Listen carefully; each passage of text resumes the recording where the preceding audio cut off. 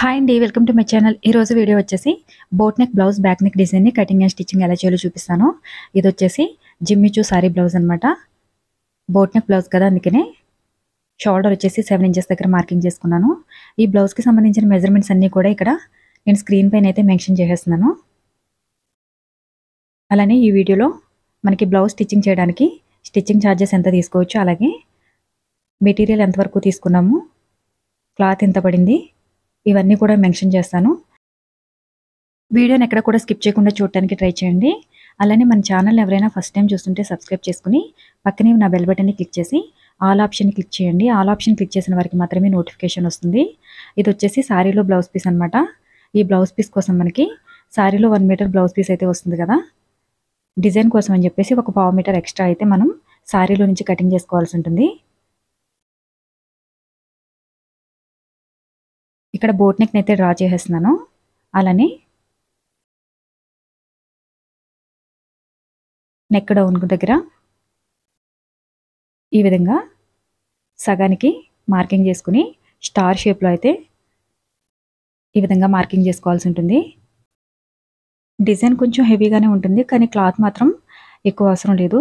Just ఒక పావు metre extra తీసుకుంటే సరిపోతుంది అనమాట స్లీవ్స్ దగ్గర అలాగే నెక్ దగ్గర చిన్న ఫ్లవర్స్ లాగా స్టిచ్చింగ్ చేసుకోవడానికి ఒక పావు మీటర్ అయితే ఎక్స్ట్రాగా క్లాత్ని తీసుకున్నాను.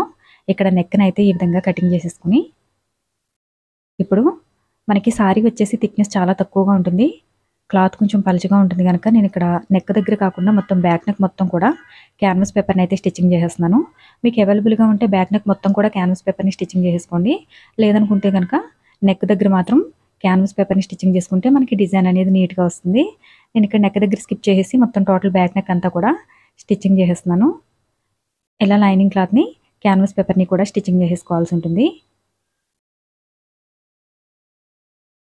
ఈ విధంగా నెక్ చుట్టూ కూడా మరీ చివరికి కాకుండా ఒక పావించి గ్యాప్ ఉంచేసి ఇలా స్టిచ్చెస్ వేసేసుకోవాలన్నమాట.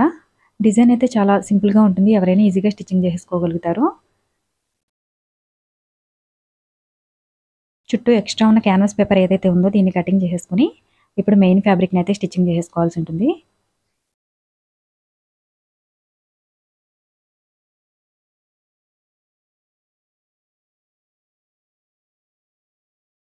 ఫస్ట్ మెయిన్ ఫ్యాబ్రిక్ని అలానే లైనింగ్ క్లాత్ని కూడా జరిగిపోకుండా ఉండడం కోసం అని చెప్పేసి ఇలా చిన్నగా ఒక స్టిచ్ అయితే వేసేసుకున్నాను అనమాట దూరంగా ఒక స్టిచ్ వేసేసుకున్నాను. ఇప్పుడు నెక్ చుట్టూ కూడా స్టిచ్చెస్ వేసేసుకోవాల్సి ఉంటుంది. నెక్ చుట్టూ మనం నార్మల్గానే స్టిచ్చింగ్ చేసేసుకోవాల్సి ఉంటుంది. క్లాత్ వచ్చేసి చాలా సిల్కీగా ఉంటుంది కదా స్టిచ్చింగ్ చేసేటప్పుడు మనకి క్లాత్ జరగడం కొంచెం కష్టంగానే ఉంటుంది. కానీ స్టిచ్చెస్ వేసుకున్నప్పుడు ఎక్కడ కూడా ముడతలు రాకుండా జాగ్రత్తగా స్టిచ్ చేసుకోవాల్సి ఉంటుంది. నేను క్లాత్ని కొంచెం కొంచెం ఈ విధంగా స్క్రీన్లో చూపించిన విధంగా జరుపుకుంటూ స్టిచ్చింగ్ చేసుకోవాలన్నమాట. ఇప్పుడు నెక్ మిడిల్లో ఉన్న మెయిన్ ఫ్యాబ్రిక్ అలానే క్యాన్వాస్ పేపర్ని కూడా కటింగ్ చేసేసుకుని నెక్ చుట్టూ చిన్నగా కట్స్ పెట్టుకోవాలి. ఈ విధంగా కటింగ్ చేయడం వల్ల మనం క్లాత్ని ఫ్యాబ్రిక్ని అవతల వైపుకి ఫోల్డింగ్ చేసినప్పుడు మనకి క్లాత్ అనేది కొంచెం ఫ్రీగా మూవ్ అవుతుంది అనమాట కార్నర్స్లో మాత్రం కంపల్సరిగా ఈ విధంగా కటింగ్ చేసుకోవాల్సి ఉంటుంది. డిజైన్ వచ్చేసి మనకి ఫ్లవర్ డిజైన్ కనుక ఫ్లవర్స్ చేయడానికి కొంచెం టైం అనేది ఎక్స్ట్రా పడుతుంది. అందు గురించి అని చెప్పేసి మనకి లైనింగ్ బ్లౌజ్ వచ్చేసి ఫైవ్ హండ్రెడ్ రూపీస్ ఉంటే కనుక దీని స్టిచ్చింగ్ ఛార్జెస్ కోసం అని చెప్పేసి ఎయిట్ హండ్రెడ్ నుంచి నైన్ హండ్రెడ్ రూపీస్ వరకు తీసుకోవచ్చు. అంటే ఫుల్ బ్లౌజ్ మొత్తం స్టిచ్చింగ్ చేసి ఇవ్వడానికి అలానే మనం దీనికి యూజ్ చేసిన మెటీరియల్ ఉంటుంది కదా డోరీ థ్రెడ్ కానీ లేదంటే బీడ్స్ కానీ హ్యాంగింగ్స్ కానీ వీటన్నింటికి కూడా ఛార్జెస్ అనేవి సపరేట్గా తీసుకోవాల్సి ఉంటుంది. ఇప్పుడు నెక్ చుట్టూ కూడా చిన్నగా స్టిచ్చింగ్ చేస్తున్నాను అనమాట డిజైన్ సింపుల్గానే ఉంటుంది కానీ ఫ్లవర్స్ని స్టిచ్చింగ్ చేయడం వల్ల కొంచెం మనకి లుక్ అనేది హెవీగా కనిపిస్తుంది. అలానే డిజైన్ స్టిచ్చింగ్ చేయడానికి ఒక త్రీ అవర్స్ అయితే మనకి ఫుల్ బ్లౌజ్ మొత్తం కంప్లీట్ చేసేచ్చు త్రీ అవర్స్లో కంప్లీట్గా బ్లౌజ్ని అయితే స్టిచ్చింగ్ చేసేయచ్చు అనమాట ఇలా నెక్ చుట్టూ కూడా స్టిచ్చెస్ వేసేసుకున్న తర్వాత మనకి ఎక్స్ట్రా ఉన్న ఫ్యాబ్రిక్ ఏదైతే ఉందో చుట్టూ స్టిచ్చింగ్ చేసుకున్న తర్వాత కటింగ్ చేసేవలసి ఉంటుంది. మీరైతే ఈ బ్లౌజ్ స్టిచ్చింగ్ చేయడానికి ఎంత స్టిచ్చింగ్ ఛార్జెస్ తీసుకుంటారనేది నాకు కామెంట్ సెక్షన్లో చెప్పండి. ఒక్కొక్క చోట లైనింగ్ బ్లౌజ్ కొంచెం తక్కువ స్టిచ్చింగ్ ఛార్జెస్ ఉంటాయి కదా అటువంటి చోట స్టిచ్చింగ్ ఛార్జెస్ అనేవి డిజైన్కి తగ్గుతూ ఉంటుందన్నమాట. అలానే లైనింగ్ బ్లౌజ్ ఇంకా ఎక్కువ స్టిచ్చింగ్ ఛార్జెస్ ఉంటాయి కనుక స్టిచ్చింగ్ ఛార్జెస్ అనేవి మారుతూ ఉంటాయి అనమాట ఇక్కడ వచ్చేసి స్టిచ్చెస్ కోసం అని చెప్పేసి వన్ అండ్ హాఫ్ ఇంచ్ దగ్గర మార్కింగ్ చేసేసి డాట్స్ కోసం అని చెప్పేసి ఈ విధంగా నేను మిడిల్లో మార్కింగ్ చేసేసుకున్నాను అనమాట ఇలా టూ సైడ్స్ కూడా డాట్స్ వేసేసుకున్న తర్వాత చివర ఒక పావు వరకు స్క్రీన్లో చూపించిన విధంగా ఇలా క్రాస్గా మార్కింగ్ చేసేసుకుని ఇప్పుడు ఈ క్లాత్ని కటింగ్ చేసేసుకుని నడుం దగ్గర మీరు నడుం పట్టి వేసుకోవాలంటే నడుం పట్టి వేసేసుకోవచ్చు. లేదంటే కనుక పైపింగ్ అయినా చేసేసుకోవచ్చు. నేనైతే ఇక్కడ నడుం పట్టిని అయితే వేసేస్తున్నాను. ఇలా నడుం పట్టిని వేసేసిన తర్వాత ఇక్కడ నేను ఈ సైడ్ స్టిచ్చింగ్ చేయలేదన్నమాట.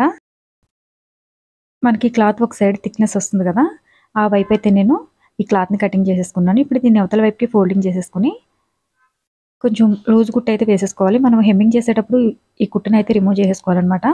ఇప్పుడు ఫ్లవర్ కోసం అని చెప్పేసి six inches length two inches విడుతూ ఉన్న క్లాత్ని తీసుకుని స్క్రీన్లో చూపించిన విధంగా ఒక హాఫ్ ఇంచు మార్జిన్లో అయితే ఇలా స్టిచ్ చేసుకోవాల్సి ఉంటుంది. మీకు ఫ్లవర్ సైజ్ పెరిగే కొద్దీ ఇక్కడ హాఫ్ ఇంచ్ కొంచెం ముప్పావు ఇంచ్ చేసుకోవచ్చు లేదంటే వన్ ఇంచ్ అయినా చేసుకోవచ్చు. నేను ఇక్కడ చాలా స్మాల్ సైజులో ఉన్న ఫ్లవర్ని అయితే స్టిచ్చింగ్ చేస్తున్నాను అనమాట అందు గురించి హాఫ్ ఇంచ్ మార్జిన్ తీసుకున్నాను. మీరు సైజ్ పెంచుకునే కొద్దీ ఈ మార్జిన్ పెంచుకుంటే సరిపోతుందనమాట ఈ విధంగా ఫ్లవర్ మీకు ఈజీగానే స్టిచ్చింగ్ చేసేసుకోవచ్చు. ఫ్లవర్ స్టిచ్చింగ్ చేసేటప్పుడు మాత్రం మనకి కొంచెం టైం అనేది తీసుకుంటుంది. ఎందుకంటే ఒక్కొక్క ఫ్లవర్ని మనం హ్యాండ్తోనే స్టిచ్చింగ్ చేసుకోవాలి కదా అందు గురించి టైం తీసుకుంటుంది. ఇలా ఎక్స్ట్రా ఉన్న క్లాత్ని కటింగ్ చేసేసుకుని ఇప్పుడు దీన్ని స్క్రీన్లో చూపించిన విధంగా ఈ స్టిచ్చెస్ ఊడిపోకుండా ఈ విధంగా నాట్స్ వేసేసుకోవాలి. మిడిల్లో మీరు కావాలనుకుంటే బిగ్ సైజ్లో ఉన్న బీడ్స్ని కానీ లేదంటే ఒకటి రెండు స్మాల్ సైజ్లో ఉన్న బీడ్స్ని కానీ స్టిచ్చింగ్ చేసుకోవచ్చు. నేనైతే ఇక్కడ బీడ్స్ ఏం స్టిచ్చింగ్ చేయలేదు ప్రజెంట్. అలానే ఎక్క దగ్గర ఈ విధంగా స్టిచ్ చేసేసుకుని మీడియం సైజులో ఉన్న లేస్ని అయితే స్టిచ్ చేసేస్తున్నాను. మీరు కావాలనుకుంటే కొంచెం స్మాల్ సైజ్లో ఉన్న లేస్ని అయినా స్టిచ్చింగ్ చేసేసుకోవచ్చు. రెండింటికి కలిపి షోల్డర్స్కి ఈ విధంగా స్టిచ్చింగ్ చేసేసుకోవాలన్నమాట. బోట్ నెక్ డిజైన్ స్టిచ్ చేయమని చెప్పేసి కామెంట్ సెక్షన్లో అడిగారు కదా అందు గురించి ఈ అయితే బోట్ నెక్ డిజైన్ అయితే స్టిచ్చింగ్ చేస్తున్నాను. మన ఛానల్లో బ్లౌజ్ స్లీవ్ డిజైన్కి సంబంధించిన వీడియోలు కూడా ఉన్నాయి. ఎవరికైనా ఇంట్రెస్ట్ ఉంటే కనుక ఛానల్ ప్లేలిస్ట్లోనికి వెళ్ళి చెక్ చేసుకుంటే మీకు బ్లౌజ్ స్లీవ్ డిజైన్స్ని కూడా స్టిచ్చింగ్ చేసుకోవచ్చు. అలాగే హ్యాంగింగ్స్ డిజైన్స్ని కూడా కటింగ్ స్టిచ్చింగ్ వీడియోలు అప్లోడ్ చేశాను. Full blouse front and back neck blouse డిజైన్స్ని కూడా నేను స్టిచ్చింగ్ చేసి అప్లోడ్ చేశాను అనమాట మీరు ప్లేలిస్ట్లోకి వెళ్ళి చెక్ చేసుకోండి.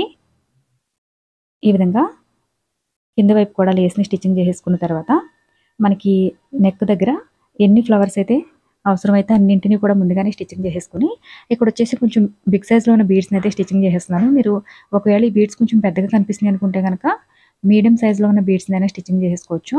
అలానే బీడ్స్ కలర్ షేడ్ అయిపోవని చెప్పేసి కామెంట్ సెక్షన్లో అడుగుతున్నారు. కొంచెం క్వాలిటీ ఉన్న బీడ్స్ అయితే కొంచెం ఎక్కువ రోజులు కలర్ షేడ్ అవ్వకుండా ఉంటుంది. అలానే ఏ బీడ్స్ అయినా సరే కంపల్సరీగా కలర్ అయితే షేడ్ అవుతుంది. ఇక్కడ వచ్చేసి పెద్ద సైజులో ఫ్లవర్ని స్టిచ్ చేయడం కోసం అని చెప్పేసి టూ త్రీ లేయర్స్లో క్లాత్ అయితే ఒక సిక్స్టీన్ ఇంచెస్ లెంత్ అలానే ఒక టూ ఇంచెస్ విడ్తో ఉన్న క్లాత్ని తీసుకుని ఒక వన్ ఇంచు మార్జిన్లో అయితే నేను ఈ విధంగా స్టిచ్ చేస్తున్నాను అనమాట అంటే మనకి ఫ్లవర్ అనేది కొంచెం పెద్ద సైజు రావాలి. అందు గురించి అని చెప్పేసి వన్ ఇంచ్ మార్జిన్లో అయితే స్టిచ్చింగ్ చేసేస్తున్నాను. ఇప్పుడు ఎక్స్ట్రా ఉన్న క్లాత్ ఏదైతే ఉందో సైడ్స్కి దాన్ని కటింగ్ చేసేసి ఈ స్టిచ్చెస్ అన్నిటినీ కూడా స్క్రీన్లో చూపించిన విధంగా ఇలా దగ్గరగా ఉంచేసి టూ త్రీ లేయర్స్ వచ్చేలాగా మనం ఈ విధంగా స్క్రీన్లో కనిపిస్తుంది కదా ఇలా టూ త్రీ లేయర్స్ వచ్చేలాగా చూసుకోవాలి. ఇలా సెట్ చేసుకున్న తర్వాత మిడిల్లో మీరు కావాలనుకుంటే చిన్న ప్యాచ్నైనా స్టిచ్చింగ్ చేసేయచ్చు. లేదంటే కనుక కొంచెం బీడ్స్ని స్టిచ్చింగ్ చేసేసినా పర్వాలేదు. నేనైతే ఇక్కడ బీడ్స్ని తీసేసుకుంటున్నాను. మీకు ఒకవేళ సేమ్ కలర్లో ఏదైనా ప్యాచ్ దొరికితే కనుక ప్యాచ్నైనా సరే స్టిచ్చింగ్ చేసేయచ్చు. ఇలా ఫ్లవర్ని స్టిచ్చింగ్ చేసేసిన తర్వాత ఇది వచ్చేసి నేను ఇక్కడ షోల్డర్ దగ్గర అయితే స్టిచ్చింగ్ చేసేస్తున్నాను అనమాట నెక్ దగ్గర. అలానే కింది వైపు కూడా సేమ్ ఇంతే ఫ్లవర్ని అయితే స్టిచ్చింగ్ చేసుకోవాలి. ఇలా కంప్లీట్గా ఫ్లవర్ని స్టిచ్చింగ్ చేసేసిన తర్వాత దీని కింద మనం హ్యాంగింగ్స్ కానీ లేదంటే ఫ్యాబ్రిక్ తోటి లేదా బీడ్స్తో హ్యాంగింగ్స్ని స్టిచ్చింగ్ చేసుకుంటే సరిపోతుంది. ఇలా ఫ్లవర్ని స్టిచ్చింగ్ చేసేసాం కదా ఇప్పుడు వచ్చేసి కింది వైపున సేమ్ సైజులో ఫ్లవర్ని అయితే స్టిచ్చింగ్ చేసేసి మొత్తం కంప్లీట్గా ఇలా నెక్ చుట్టూ కూడా ఫ్లవర్స్ని అయితే స్టిచ్చింగ్ చేసేసుకోవాల్సి ఉంటుంది.